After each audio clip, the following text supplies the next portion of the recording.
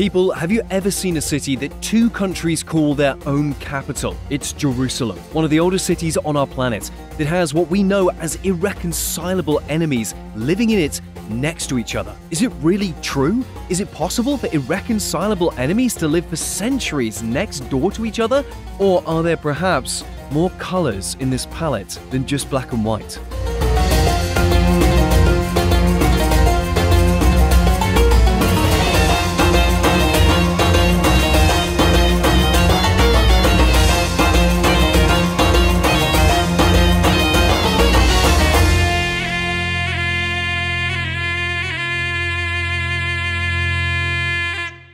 People, the state of Israel was created after the Second World War. And when I was reading the history of Jerusalem, I really had a feeling that it was absolutely like in a computer game. Lately, I can't tear myself away from the conflict of nations. It's a free online PvP strategy game. Just imagine, in this game you can choose a real country, lead this country and fight during the World War III. There are up to 128 players in games in real times simultaneously. You can play for weeks to complete. The trick is that you can create your army yourself. Choose tanks, jets and even submarines with nuclear weapons on board. And the coolest thing that I like most about this game is that you, as you are the president of your country, you can do what you want. For example, you can declare war on other countries or forge alliance with other players and you can choose your own strategy, engage in epic battles and take over the world. This is really cool guys. It's also very convenient that you can play with the same account on both PC and mobile. And today you can get an exclusive gift. Click on the link in the description to get 13,000 gold and one month of premium subscription for free. Offer only available for 30 days, so don't lose time. Click the link in the description, choose your country and fight your way to victory. Jerusalem's total population is about 1 million people. There is West Jerusalem, the part that is under Israeli control. That's where you arrive if you come by air. We can basically mark this part with one color because the entire area is controlled by Israel. Then there is East Jerusalem. And here we need a lot of colors on the map because there are Palestinian neighborhoods that are home to 370,000 people and there are Israeli neighborhoods that are home to some 200,000 people. And then there are disputed areas. Why so? Because the state of Israel considers Jerusalem in its entirety to be its undivided capital, while Palestinians see Jerusalem as the future capital of their envisioned state, the State of Palestine, which is, at the moment, only partially recognized. Its present day territory stretches east of East Jerusalem. Here it is, the notorious west bank of the Jordan River. The other Palestinian territory is the Gaza Strip, separated from the West Bank by 25 miles of Israeli soil. The two Palestinian territories have no connection to each other. The international status of East Jerusalem remains uncertain till these days. Now, with the unprecedented escalation of the armed conflict, most likely any stranger in East Jerusalem will raise suspicions at the very least. And that's exactly where our reporter Alex Pototsky is going now. Сейчас позади меня Восточный Иерусалим, где живут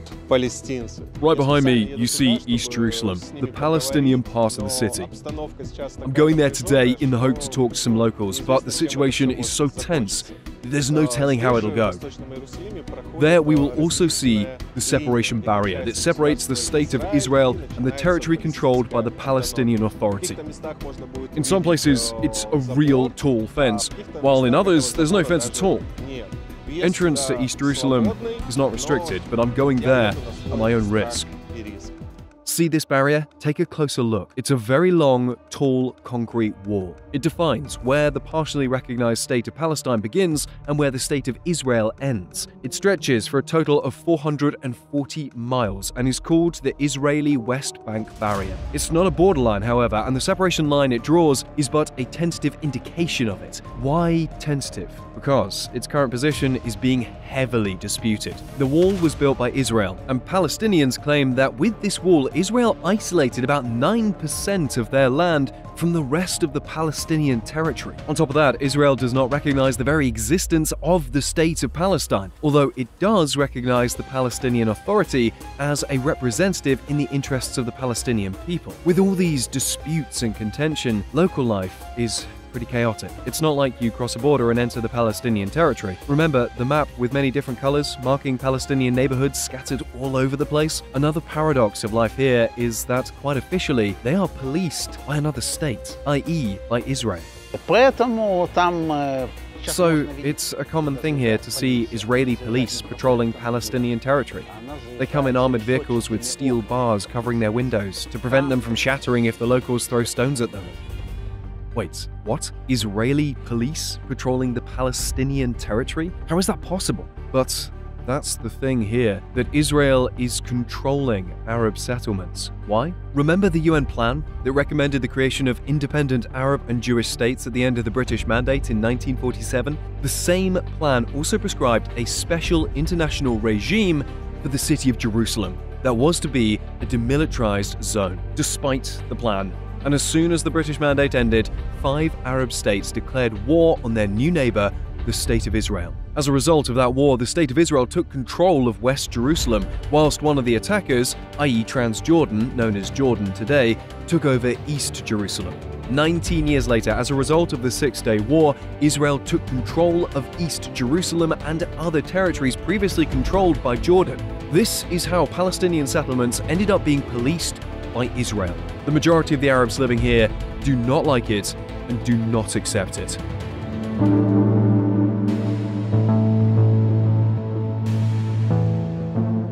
Are you subscribed to our channel? Not yet? The sad thing is that Anton can't go on his next adventure until you do. So pretty please, subscribe now. That's right. Go ahead, click subscribe. Well done and thank you. We can continue now. You mentioned locals throwing stones at the police. Yes. Do they only target police? No, not necessarily, not always. They might throw stones at the cars from the Jewish side or at some tourists who took a wrong turn and ended up in the wrong place by mistake. You know, like when they're using GPS and take a wrong turn, they might end up involved in an incident. But also, that's not necessarily always true. Some villages are okay, but things like this happen too. That's the kind of a Palestinian neighborhood we're going to. It's called Al Isawiya. We are accompanied by a local guide, Michael. He has warned us right away that it is not safe, and he is honestly quite a bit scared to go himself. Um, let's stay close to the exit, and if you see anything you don't like or feel, any threats, let's go back immediately. I'm afraid you realize there's a threat only when. when it's too late. In every neighborhood, people react differently to strangers. Some are quite friendly, while others are not. This could be related to people's personal history, like if some locals got arrested by the Israeli police, or if there was a skirmish, especially if it involved shooting. Locals can be expected to be less friendly to any intruder. Al Isawiya, according to Michael, is not the most peaceful of neighborhoods. The local muezzin here in Al Isawiyah was arrested a few days ago for calling on the local population to join the fight of the Palestinian people against the Zionist aggression, you know? As you can see, this is a densely populated area. It's a large neighborhood with about 20,000 people living here. It is partially located in East Jerusalem and partially in Palestine. This here is the borderline between the two parts. Most people living here don't have Israeli passports because they believe they are living under Israeli occupation, which is why showing up here in a car with an Israeli license plate is pretty dangerous.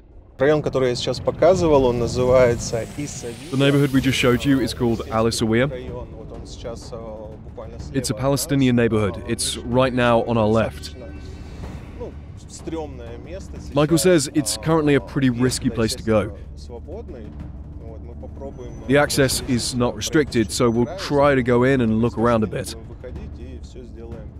А, We'll stay in the car and we will be very cautious because, in view of the recent events, one has to be very careful. Welcome to Isaria.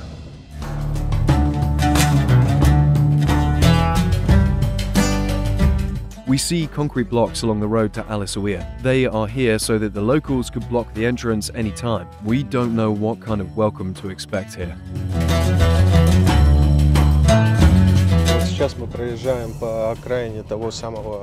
We are now in Al and it's quite obvious that it's a Palestinian neighborhood. People look and dress differently.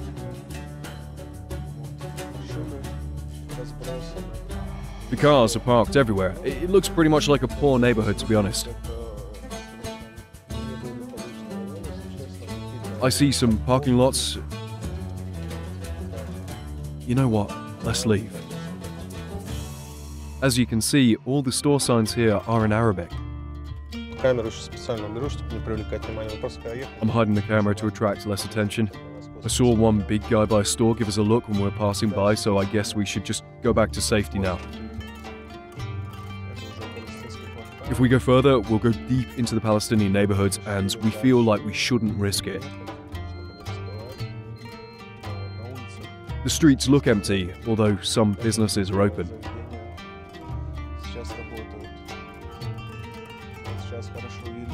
You can now see the fence marking the line separating Israel and the Palestinian territory.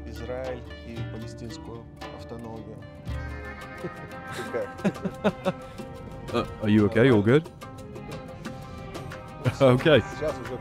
Uh, let, us go to Abu Tor now. It's it's a lot safer. It's just the same. Just the same? Yep.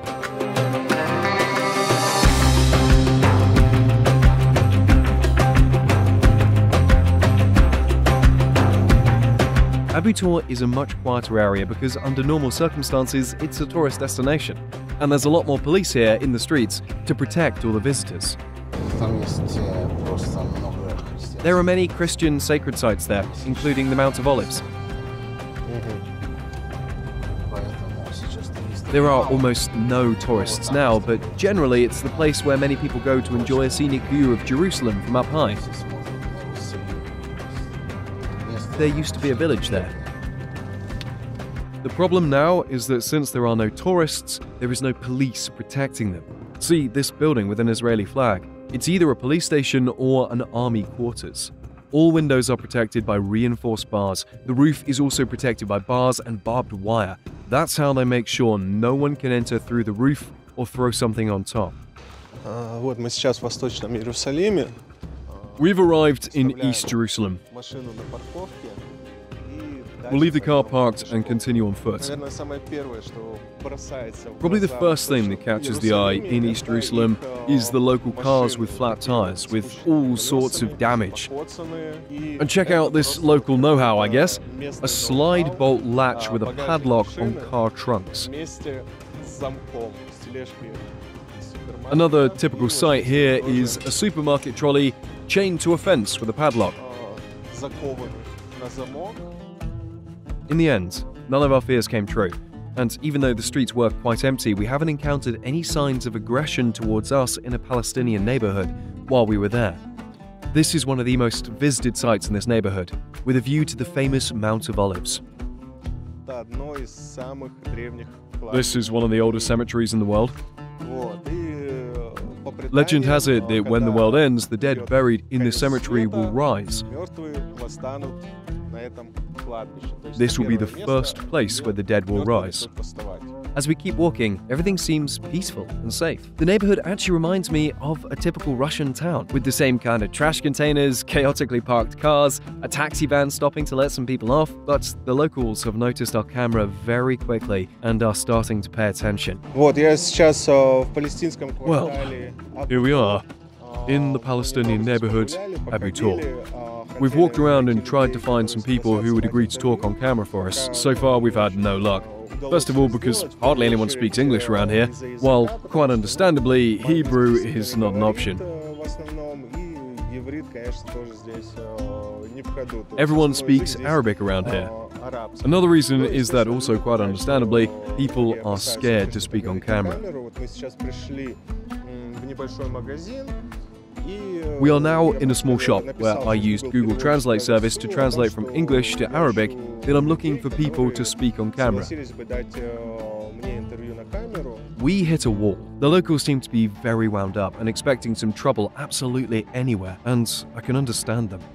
We won't tell you anything. There's a war going on. Do you understand? I won't tell you anything.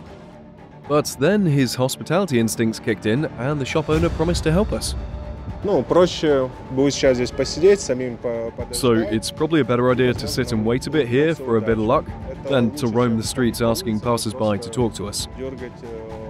So we decide to wait, although we have no idea who this man will bring to us, if anyone. This neighborhood offers an amazing view of Jerusalem and its old city. This is where you can see with your own eyes why this place has been in the center of an underlying conflict for so long. This is the old city of Jerusalem. See this big golden dome? It's the Dome of the Rock, a mosque that is part of the Al Aqsa Mosque compound. And both mosques are the most important Islamic shrines, and it's a holy site for all Palestinians who are predominantly Muslim. However, this Islamic religious compound is located on the Temple Mount, which is venerated as a holy site in Judaism, which means it's extremely important to Israel. One of the Temple Mount's retaining walls is yet another site in Judaism, the famous Wailing Wall. So basically, key holy sites of two different religions are located one on top of another here, which is why this place has been at the core of all disputes between Jews and Arabs. To make the picture complete, I'll add that the very same Temple Mount is also a most revered holy site for yet another religion, i.e., Christianity. And just a five minute walk from here is the ultimate holy place for all Christians, the Church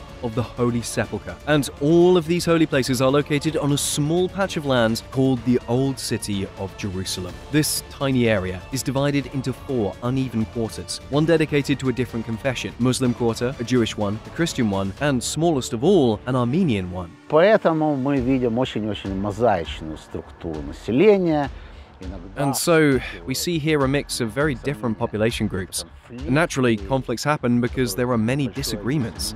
And some of these people have got some pretty extreme views on things. Yet, on the other hand, I can give you lots of examples when people of different confessions work together, go to each other's weddings, to each other's birthdays, and so on. So, the most contentious part in East Jerusalem is the Temple Mount, that has holy shrines revered both in Islam and Judaism, located literally next to each other. Both Jews and Arabs consider it their own. Another important thing to remember is that the law is enforced here by Israel. So, any skirmishes here involve confrontation of two different religions, which only adds more fuel to the flames of the prolonged dispute. In 1996, when Israel opened a second entrance into the Western Wall tunnel under the Temple Mount, Palestinians took it as an attack on Muslim shrines. The resulting riots left 15 Israelis and 52 Palestinians dead, although some sources suggest that there may have been considerably more victims. In 2000, Israel's soon to be Prime Minister's visit to the Temple Mount was met with a violent response from Palestinians that led to a major uprising that lasted for five years, involved major loss of human life, and saw lots of sanctions introduced. All in all, this place is a real tinderbox. And yet, considering its importance for several major world religions, pilgrims have been coming here from all corners of our planet despite all the tensions. This is what this place looks like under the normal circumstances.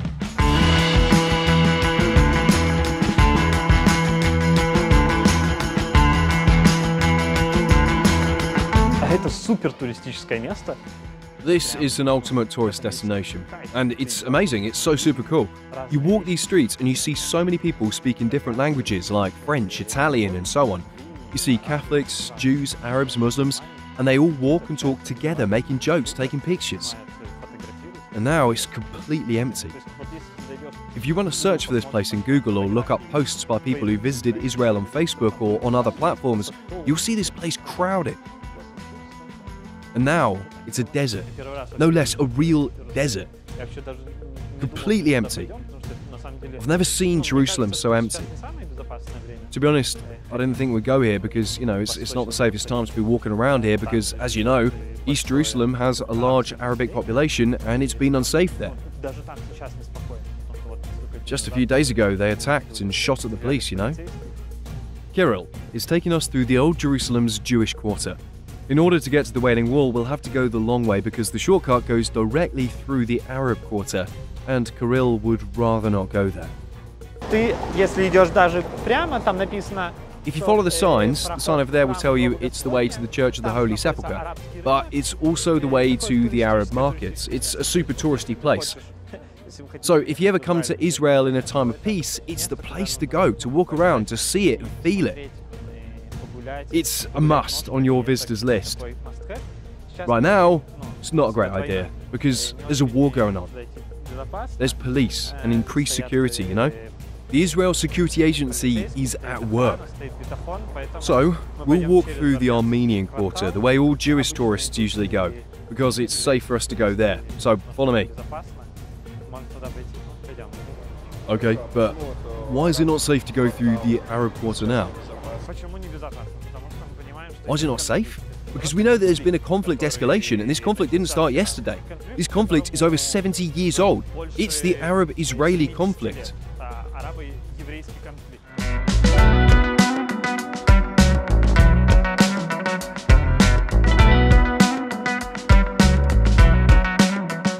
The city is literally empty.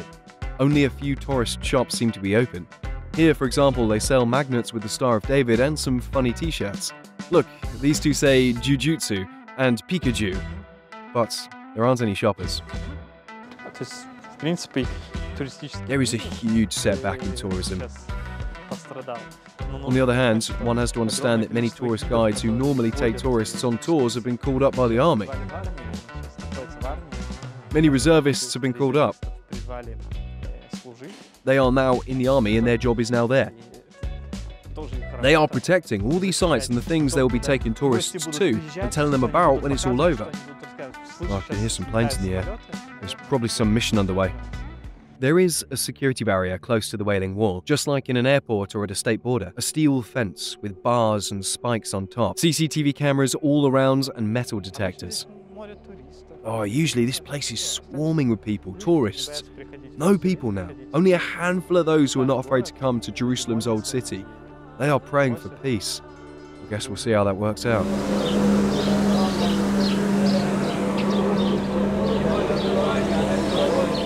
We go on to find out that behind the wall there are lots of passages and chambers, and even now there are some people there. Here's the place where they keep the Torah scrolls. These Torah scrolls are used for public readings during services every week. It's the Hebrew Bible, simply put. And so these Torah scrolls are read from on certain days of the week, on Monday, on Thursday, and on Saturday, i.e., the Sabbath. Each time they read a chapter from the Torah corresponding to that particular week and that particular day. Over there, see that man standing? That's where they keep the Psalms, also in scrolls. I mean, the Book of Psalms, written by King David. Kirill says that even this number of visitors is nothing compared to normal times. Indeed, just take a look at some pictures taken before the escalation.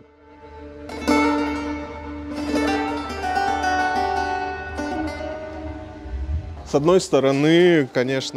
the other hand, there is a certain benefit to empty streets. There are no crowds of tourists obstructing the view everywhere. You can see everything clearly. Yet, on the other hand, you can't help but realize just how much tension there is in the air. Kirill refused to accompany us to this quarter. And also, how much tension there is in the entire country. That even this super touristy place, the country's top tourist destination, looks pretty much dead now.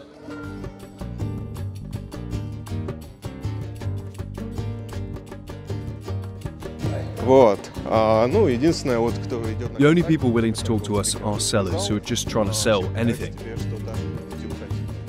Вот. А, вот, только что я I wanted to go пытался deeper пройти into the Arab дальше quarter, в арабский to the mosque, квартал. but the police stopped me and told me that non Muslims are currently not allowed to go in there.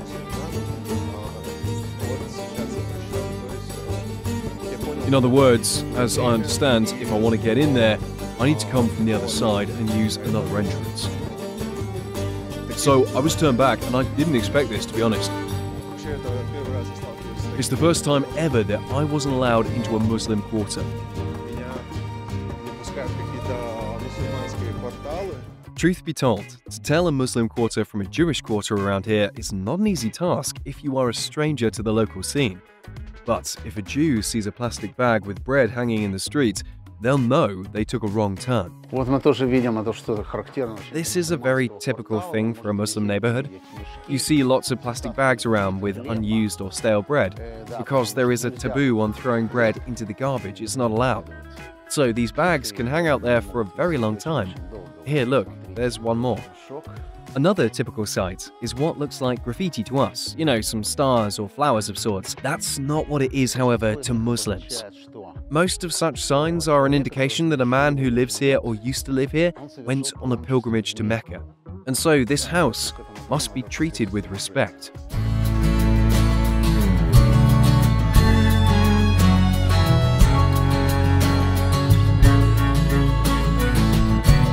Michael is also a Jew. He's been living in Jerusalem for over 20 years and he's not scared at all to walk around the Muslim quarter. You know, if we came here under normal circumstances, especially during the tourist season in October, we'd see here crowds of pilgrims. I mean, not only pilgrims, but lots of tourists too. This place would be swarming with people. Whereas right now, it's completely deserted. And we are the only people on this route. And that's what catches the eye. In addition to this, I'd say that people have not yet recovered from the initial shock. It feels like everyone is struggling to understand what's going on and has no idea what to expect tomorrow. And this takes its toll for sure. In Jerusalem, for example, most children stopped going to school. They're staying at home with their parents. An air attack is still a threat. And during air attacks, when a siren goes off, people have to hide in bomb shelters with their children. And this is why those people who can't work online from home are now staying home without a job or income. This is one more thing that's different now compared to how life used to be. And it's basically the same in Tel Aviv and all the other cities in Israel. You can also see that because of the current situation, there is a massive military presence here. You've seen lots of soldiers on one side and on the other side. And so, since the police is working, protecting us, I feel quite protected. I feel safe. There are lots of quarters and corners in the old city. There's also East Jerusalem, i.e., Palestinian Jerusalem. There are lots of places that are never visited by tourists or even locals who live elsewhere. And it's probably not a good idea to try and go there now. As for the touristy parts of the old city in West Jerusalem, I believe they're as safe as any other place.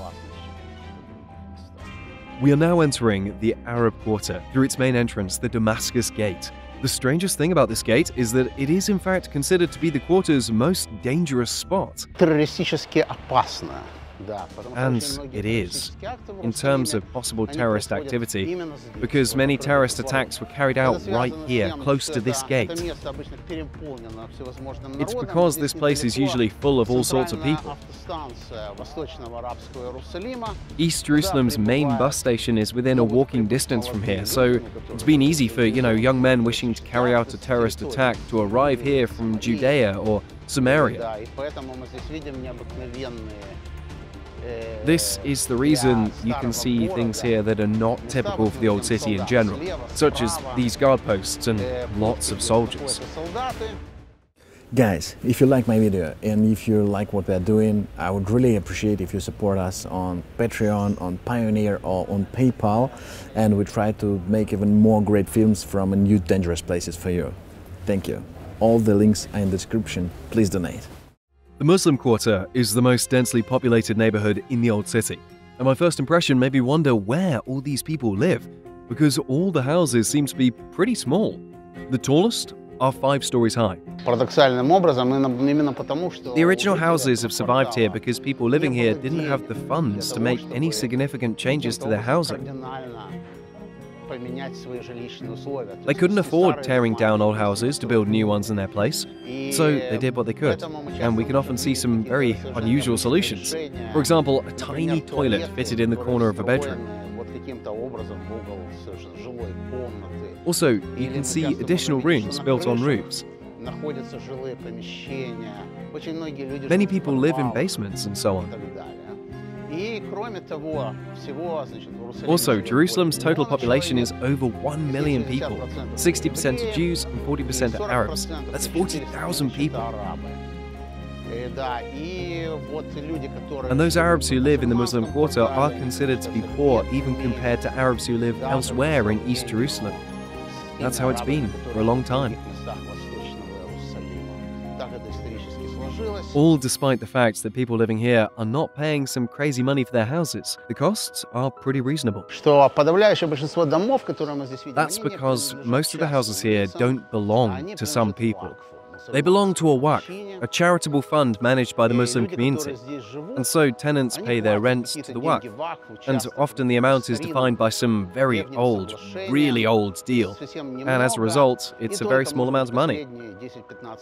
Only during the last 10 or 15 years, I've seen some changes being implemented around here because more tourists have been coming, so they built some new hotels here. A new generation of young, well educated Arabs has grown up and they are organizing some youth clubs here, working with children and the youth. Okay, look, yes, this is the Muslim quarter. What makes it different from the rest of Israel? Are there some special local rules in place here or something like this? You know, I think, first of all, this place is full of very old, truly ancient buildings that are part of an exceptional historical significance. They are related to humanity's past. And so there are local traditions. I wouldn't say rules, rather traditions that are not observed in any other places.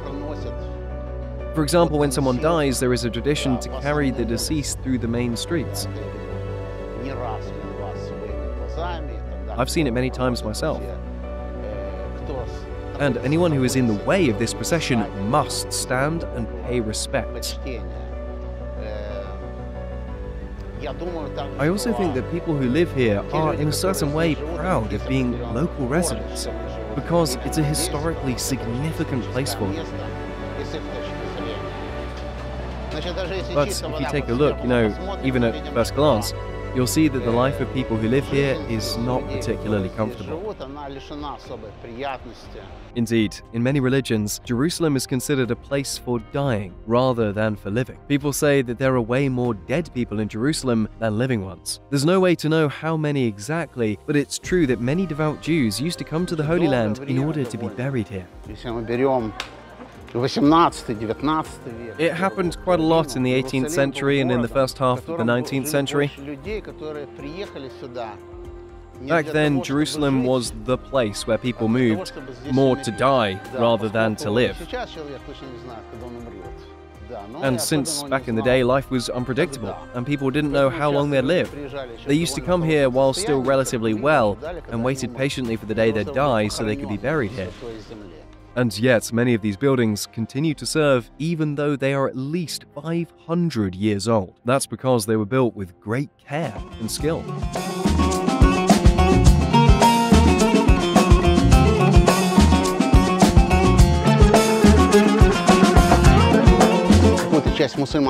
There's a part of the Muslim quarter up high that we can't see from here, but we can see the rest of it below us. And you can see lots of buildings with domes on their roofs. You know, Mark Twain wrote about Jerusalem. It is as knobbly with countless little domes as a prison door is with bolt heads. These are the domes he was talking about. The thing is, domes are best suited to the local climate along with very thick walls. They help keep the houses cooler in the summer and warmer in the winter. From here, we can see the Church of the Holy Sepulchre, and it's very clear from here that it's the highest ground in the city. We can see the multitude of mosques all around. After the sunset, green floodlights will be turned on around the mosques, and then you can see even better how many there are. There's the Christian quarter over there. The streets in the old city of Jerusalem are very narrow. There are no cars here, and all deliveries are made by special carts. Getting a license to operate such a cart isn't easy.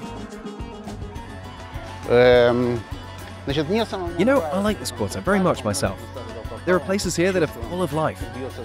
And if you look here, there's something I particularly like.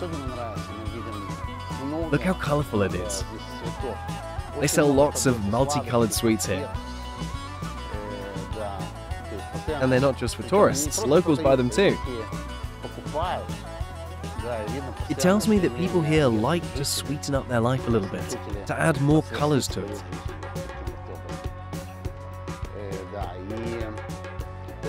And there are lots of shiny things. As you can see, there are many stores selling jewelry, and the people you can see here are not glamorous in any way.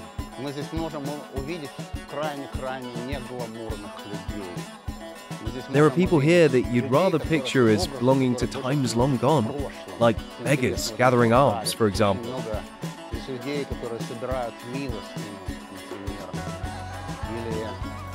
Or you can see people making deliveries in old worldy carts.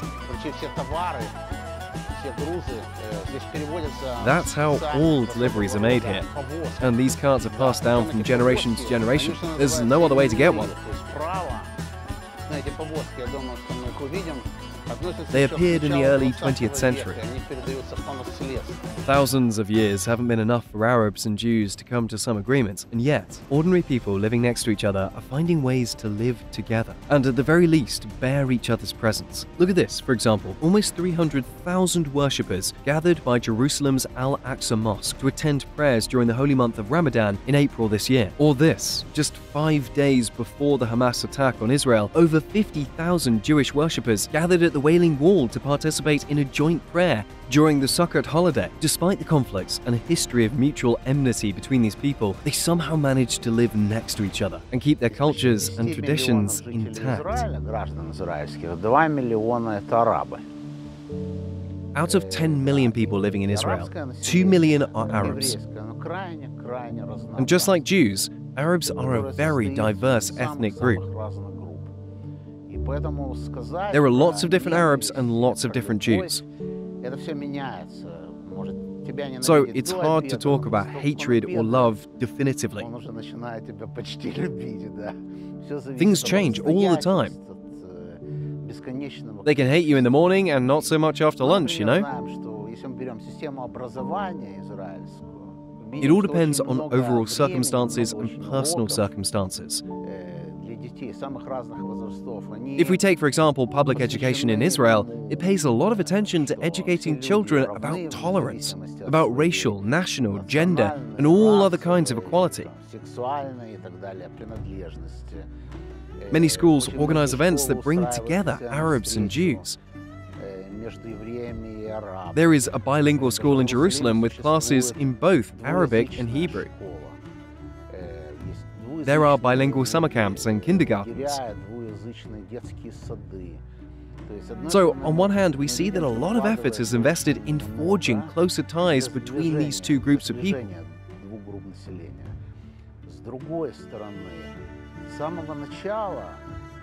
On the other hand, however, one of Israel's foundational principles has always been not so much about preventing different groups of populations mixing into one, but rather about preserving the cultural diversity единую массу. То, что называется плюрализм культуры. Например, For нет example, единой there is системы no single образования. system of Есть education. арабские школы, There are есть Jewish еврейские schools школы, and there are Arab schools. еврейских есть There are определенные public secular and public государственные, religious Jewish schools. There are Orthodox Jewish schools. У арабов There are есть Muslim schools and Christian schools, including Orthodox Christian schools and Catholic Christian schools. православные детские, So we basically see a very diverse picture here. Also, since people are free to live wherever they like, they often prefer to live close to the people they can relate to. And thus we have, for example, the city of Ashdod. And there's a neighborhood where Jews from Georgia live, and another neighborhood where Jews from Moscow live, then a neighborhood of Persian Jews, and an Arab neighborhood where all Arabs belong to a particular clan called Hamula, and so on.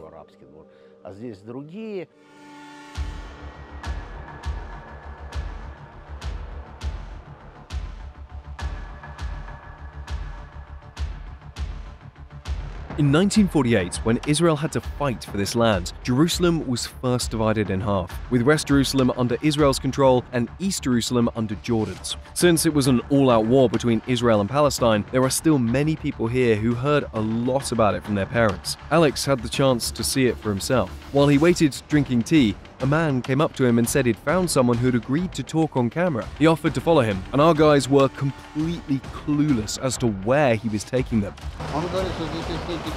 He says there is a man who works with tourists and he'd like to talk to us. Okay, it's not like they'll rob us, right? What? It's not like they'll rob us, I guess. Finally, Alex meets a man who's willing to go on camera. He unlocks the gate to some tunnels and tells us his story. His parents fled here from the war. My family is a Palestinian refugee family. Who was they were living in 48 in a village called Lifta. As we go downstairs, it becomes very cold. It's like a catacomb, a cave where bodies are buried in the walls. So they would place the body inside a cave and come back in a year or two, open the cave, which was usually sealed with a big rock, retrieve the remains, and wash the bones. If you know a Russian idiom to wash someone's bones, now you know where it comes from. After that, they would put all the bones in a box carved out of stone called an ossuary. It's usually as long as the longest bone in the person's body, the femur. They would then put the box back in the cave. When someone else in the family died, they would repeat the process all over. Benjamin said he wouldn't go with us since he's old and his legs are no good. He's now taking care of these caves as a memorial site because they literally saved his father's life during the first Arab Israeli war. They decide to move to this side of the city because of the war, because of the fighting, killing. Uh, how they come here directly because my father at that time used to work with uh, an office called Hevra Kadisha who look after the graveyard and Very People, in Mount Olive. So he know the area very well. And then there's no houses, no people living around except this spot here. So my father bring them directly to this point here. And they lived into the cave six months. It was winter time. Just imagine living underground for six months, surrounded by dead people, in winter, with no electricity, next to no food, no water, and no heat. Benjamin didn't experience that because he was born in 1951, but he did have to use the caves to hide from the bombings. After the six months winter time, he, they went up. They built kind of sheds in the beginning. Now it's houses. We used it in 67 war. Okay. The whole family, we were hiding inside seven days. As you remember, in 1967, Israel took over East Jerusalem, which is why those neighborhoods that Alex went to at the start of this report, as well as the Old City, are policed by Israel. And yet, Palestinians insist that they are living under Israeli occupation, while Israel insists that Jerusalem is entirely its own, and no one seems to have a clue how to reconcile the two parties. The issue of Jerusalem is of paramount importance for both Israel and Palestine. A solution that would satisfy both parties does not exist, which is why, according to our guide Michael, no one knows how this war is going to end. After the October 7th attack, Israel decided that living next to a force like this while maintaining a normal life is impossible. We've been living in a tinderbox, waiting for it to burst into flames all this time, you know? So, what will happen after Hamas is dealt with? How is it going to be dealt with? Are they going to arrest its leaders or perhaps all members? And then who and how? All these questions don't seem to have clear answers. And so all this remains unclear, not only to ordinary citizens, but also to those who are commanding this war today, I think. войска сегодня. Понятно, что такое решение, например, It is also clear that any kind of solution, like expelling all Palestinians to the Gaza Strip or anything as extreme, is out of the question. It's completely out of the question.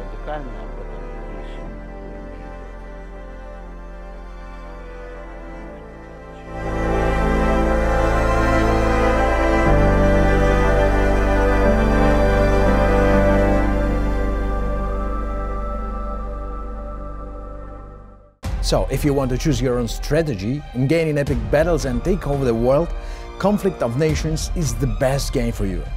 It's a free online PvP strategy game happening in a modern global warfare. And I'd like to remind you that today you get an exclusive gift, so click the link in the description, download this game, and you will get 13,000 of gold for free, and you also get a one month of premium subscription also for free. This offer is available only for 30 days, so don't lose time. Click the link in the description, choose your country, and fight the way you want to victory.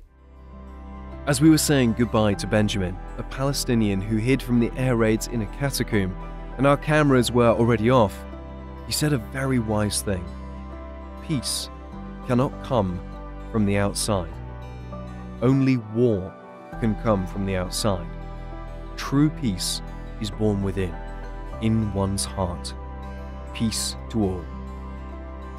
Subscribe to our channel